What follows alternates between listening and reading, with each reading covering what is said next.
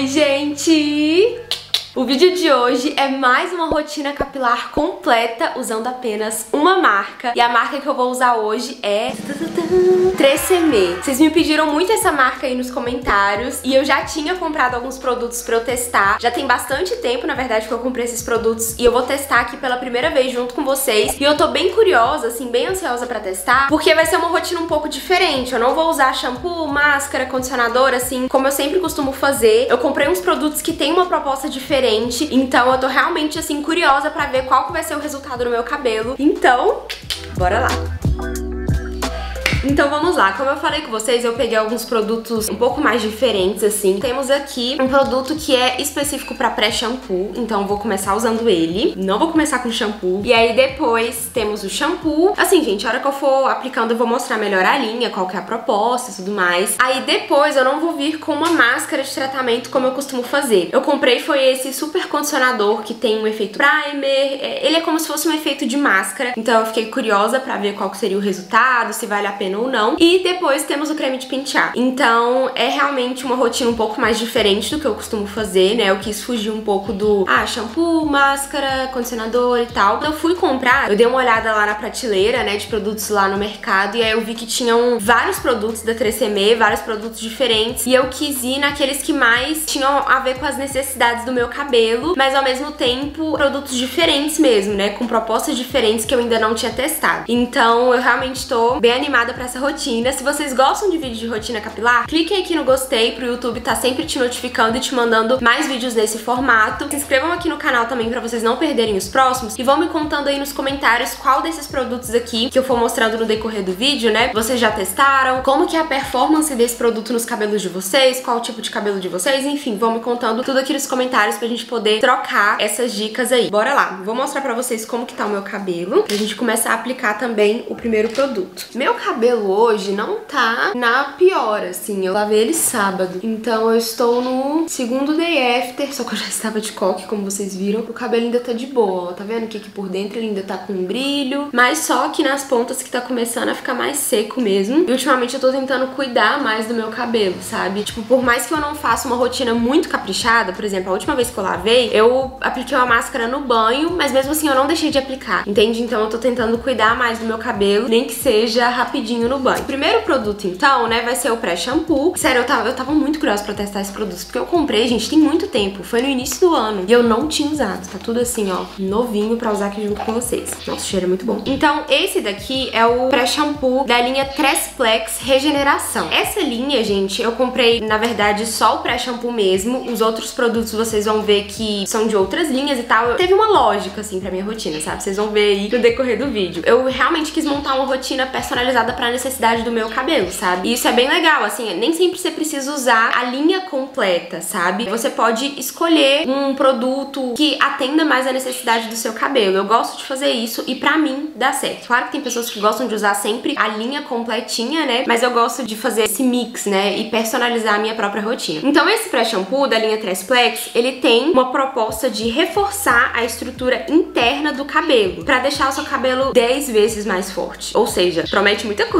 E essa tecnologia Tresplex, eu dei uma pesquisada aqui para entender o que que é, né? É uma tecnologia que promete agir no interior da fibra capilar para deixar o seu cabelo mais forte e resistente. E essa linha Tresplex Regeneração é mais voltada para cabelos extremamente danificados, para quem, sei lá, precisa restaurar o cabelo depois de chapinha, secador, químicas, enfim, para quem realmente tem o cabelo extremamente danificado. Então, como eu tô buscando cuidar muito do meu cabelo, né? Tô aí nesse projeto Ana Rapunzel, eu tô buscando produtos que realmente restauram a fibra capilar. E como eu fiz escova e chapinha aí um, uns dias atrás, eu tô buscando cuidar ainda mais do meu cabelo agora. Aqui não diz na embalagem quais os ativos, né? Por exemplo, óleo de coco, colágeno, enfim, não diz aqui na embalagem, mas eu imagino que seja mais voltado para reconstrução, né? Pelo que diz aqui na proposta do produto. Imagino também que tenham agentes emolientes, né? Que vão dar aquela emoliência, aquela nutrida, aquela hidratada no cabelo antes do shampoo. Então vamos lá para aplicação, né? Vou colocar aqui um pouco na tampinha. Olhem só a consistência do produto. O cheiro é muito bom, gostei demais. Ele tem uma consistência média, estão vendo? Ó, não é nem muito ralo, mas também não é nem tão firme que eu não consiga tirar, né? É uma boa consistência pra aplicar assim no cabelo seco. Aqui diz que você pode tanto aplicar no cabelo seco, como é o, o que eu tô fazendo aqui agora, quanto aplicar no cabelo úmido, né? Lá no banho mesmo, quando você já umedeceu o cabelo, né, já molhou, você pode aplicar a máscara antes do shampoo. Aqui na embalagem também diz que você tem que deixar agindo por pelo menos 3 minutos. Vou deixar agindo mais, né? Vou deixar agir por uns 15 minutos. Eu amei o cheiro. Me contem aí se vocês gostam do cheiro desse produto, quem já usou. Tem um cheiro docinho, assim, mas não é enjoativo. Cítrico e doce ao mesmo tempo.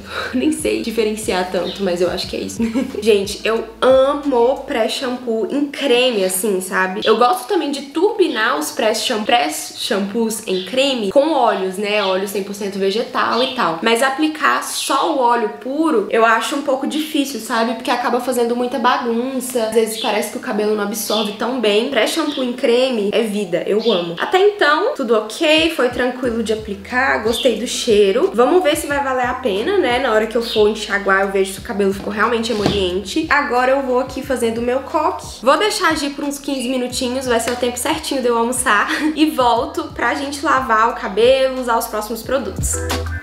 Então, se passaram uns 15 minutos e eu fui enxaguar o meu cabelo no banho e fui desembaraçando. E o que eu percebi com esse pré-shampoo é que realmente ajudou a deixar o cabelo bem emoliente, o cabelo ficou assim, bem desmaiado, eu consegui desembaraçar tranquilamente com a escova. Eu vi alguns comentários de algumas de vocês num vídeo falando que o meu cabelo parece que não embaraça. E assim, gente, o meu cabelo realmente ele não é daqueles que mais embaraçam, sabe? Que dá muito aqueles bolos assim, sabe? Não, meu cabelo é até tranquilo, mas também não é assim assim como vocês pensam, não. No vídeo às vezes não dá pra ver direito, mas o meu cabelo embaraça assim e eu sinto que o que me ajuda muito são esses produtos tipo pré-shampoo mesmo, sabe? Ah, e um detalhe também. Quando eu pintei o meu cabelo, eu senti que o meu cabelo embaraçava mais. Como o meu cabelo hoje em dia já tá quase 100% sem tinta, né? O meu cabelo fica super tranquilo pra desembaraçar. Ah, lembrando que esse produto, ele não é liberado. Eu acho que quase todos os produtos que eu vou usar aqui, eles não são liberados. Eu vou falando aí no decorrer do vídeo. Eu gostei desse pré-shampoo. Eu achei que ajudou, assim, a deixar o cabelo emoliente. Eu senti que ele deu essa regenerada. Mas eu ainda não consigo dar uma opinião muito formada porque eu acho que eu conseguiria ver o resultado dele mais a longo prazo. Então eu posso testar outras vezes, ver se ele realmente vai regenerar o fio a longo prazo, né, depois de várias aplicações. Eu fiquei, assim, bem tentada a usar ele com algum óleo vegetal, porque vocês sabem que eu amo misturar pré-shampoo com óleos, mas eu quero testar mais pra dar uma opinião mais certinha pra vocês. E aí, depois eu fui pro shampoo. O que dizer desse shampoo? Gente, ele tem 200ml, ele é menorzinho, ó, mais fininho, mas tinham outros lá maiores. Ele é um shampoo de baixo pool, então ele tem sulfato, mas é um sulfato em quantidade menor. A proposta dele é fazer uma limpeza mais gentil, sem ressecar tanto o cabelo. Ele tem óleo de coco e água de coco, nutre e revitaliza a beleza natural do cabelo. Ele não tem silicones e nem parabenos e nem corantes. Ele indicado para cabelos normais a secos. Eu lembro que quando eu comprei, tinham vários shampoos lá e tinham alguns também que eram voltados, sei lá, para cabelos extremamente ressecados. Tinha shampoo também voltado para cabelo cacheado, mas eu quis escolher um produto aqui que é da linha de caixa, vocês vão ver aí depois. Pro shampoo, eu, eu não sei, eu me identifiquei com esse shampoo, sabe? Eu vi ele lá, falei, hum, quero. O meu cabelo gosta de coco, eu gosto também de testar esses produtos que tem essa proposta de baixo pool. Eu senti que ele limpou bem o meu cabelo e foi uma limpeza gentil. Eu não senti que o meu cabelo ficou muito seco, sabe? Mas ao mesmo tempo eu também não acho que é um shampoo mega hidratante. Eu acho que é um shampoo normal, basicão, sabe? Daquela linha do basicão que eu falo pra vocês. Eu amei o cheiro, tem um cheiro bem suave. Amei a embalagem, preciso dizer isso. Sério, eu gostei muito da embalagem. Inclusive ficou combinando até com o maiô que eu estava usando. e vamos lá então pro condicionador. Esse aqui eu tava tão curiosa. Que é o seguinte, eu não comprei uma máscara de tratamento. Eu comprei um super condicionador que tem tem um efeito primer, acabamento profissional. Aqui diz que você tem que usar ele durante um minuto pra ter um resultado assim super mara. E ele é indicado para cachos e crespos. E aí, gente, eu fiquei muito curiosa. Eu falei, caramba, super condicionador, efeito primer, nunca vi isso, né? Efeito primer, gostei desse nome. A embalagem me convenceu muito, gente. ah, outra coisa, eu não vou conseguir lembrar o preço dos produtos porque eu não guardei a notinha. Como eu falei com vocês, tem muito tempo que eu comprei. Na internet o preço é muito diferente, então me contem aí qual o preço desses produtos produtos na cidade de vocês, mas eu lembro que foi um preço mediano. E aí, gente, que eu comecei a aplicar no cabelo. Como vocês podem ver, a textura dele é média, não é nenhuma textura muito grossa e nem muito rala. Enquanto eu aplicava, eu senti que deixou o cabelo muito macio. E eu tive a sensação que iria ficar leve, sabe, a hora que eu fui aplicando. Uma dica também é retirar bem a água do cabelo antes, foi algo que eu fiz, pra depois vir com o produto, né? Mas ao mesmo tempo eu senti que meu cabelo ficou muito macio, né, enquanto eu massageava. E quando eu enxaguei, gente, eu gostei demais. O meu cabelo, sabe quando o cabelo derrete? Nossa, eu amei a sensação que ficou no cabelo, assim, eu senti que o cabelo ficou muito, muito macio, muito hidratado. E eu deixei agir por um minuto, assim, eu segui a risca esse negócio, eu não deixei por muito tempo não, deixei ele por um minuto mesmo. Fiquei apaixonada, com certeza eu vou usar de novo. E o seguinte, ele é liberado apenas pra quem faz low pool, porque ele tem silicones insolúveis. Então quem faz no pool não pode usar, né, por causa desses silicones insolúveis, mas são justamente esses silicones insolúveis e também, né, outros agentes nutritivos, óleos, enfim, coisas que tem aqui na composição que dão esse efeito primer no cabelo. É a mesma lógica do primer que a gente usa na maquiagem, né? Geralmente primer de maquiagem tem bastante silicone, coisas ali que vão deixar a pele, tipo, com um toque aveludado. Essa é a proposta desse condicionador, né? Deixar o cabelo macio, brilhoso, uma textura uniforme e com esse toque aveludado. E foi realmente o que eu senti. O único problema é que ele tem apenas 170ml, o que eu achei muito, muito pouco. A gente gosta de muito produto, né, gente? Mas ao mesmo tempo eu senti que ele rende bastante, sabe? E mesmo vindo essa quantidade de produto, eu compraria novamente, sabe? É um produto que eu investiria de novo.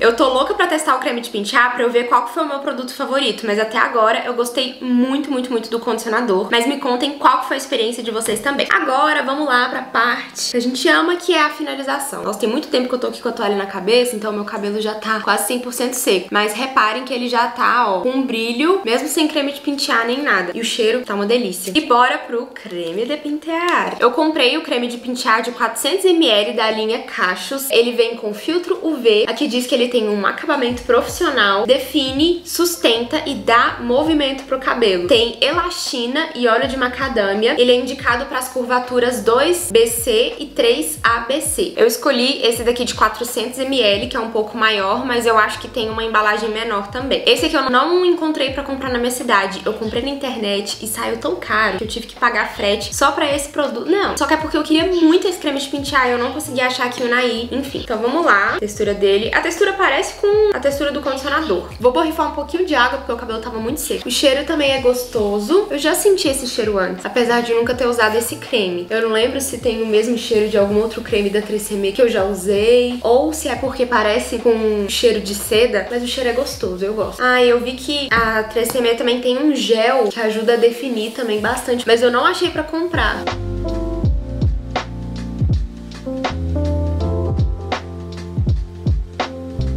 Gente, enquanto eu aplico o creme de pentear, tá, tá definindo, tá deixando o cabelo macio, mas não consigo, tipo, falar, ah, eu achei que vai ficar assim assado. Não sei ainda, sinceramente. Não sei se vai dar certo ou não. Vamos aguardar os próximos capítulos.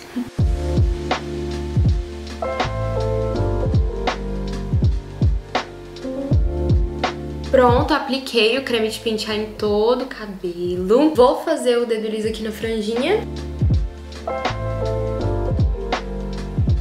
Pronto, gente. Agora vou esperar secar naturalmente, né, como eu sempre costumo fazer. E eu volto pra mostrar pra vocês como que tá ficando o resultado. Já volto.